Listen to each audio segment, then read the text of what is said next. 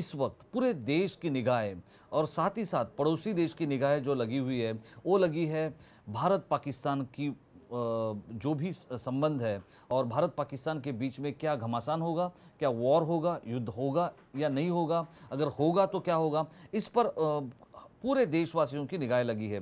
क्या आप समझते हैं जिस तरह से हमारे दो जवानों को बेरहमी से वहाँ पर मारा गया है सीमा रेखा पर, क्या इसकी वजह क्या हो सकती है? जब हम कुंडली का अध्ययन करते तब, और ये समस्या आगे चलकर अपने देश को, हिंदुस्तान को, भारत को, पूरे भारतवर्ष को कितनी समस्या दे सकती है? बिल्कुल।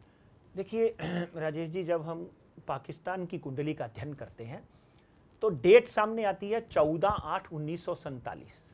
चौदह आठ उन्नीस सौ सैंतालीस रात के वक्त पाकिस्तान का जन्म हुआ है और पंद्रह आठ सैंतालीस को हमारे देश का जन्म हुआ है।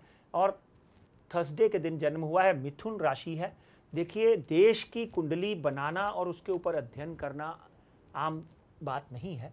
इसको बहुत अच्छी तरह से बाकी जब ये लेमन न्यूज़ के माध्यम से ही आपको ये कार्यक्रम देखने को मिलेगा क्योंकि इतनी इतना बड़ा रिस्क और इतनी बड़ी बा, बात जो है ये कहीं और नहीं मिलेगी। मित्रों एक बात समझ के ले लीजिए कि पाकिस्तान की जब हम कुंडली का अध्ययन करते हैं तो काल सर्प दोष पाकिस्तान की कुंडली में है। उसके ऊपर पाकिस्तान की कुंडली में चंद्र और मंगल बारहवें घर में लगे हुए हैं। यानी अमेरिका अगर टेन बिलियन डॉलर देगा तो भी अमेरिका के विरुद्ध काम करेंगे।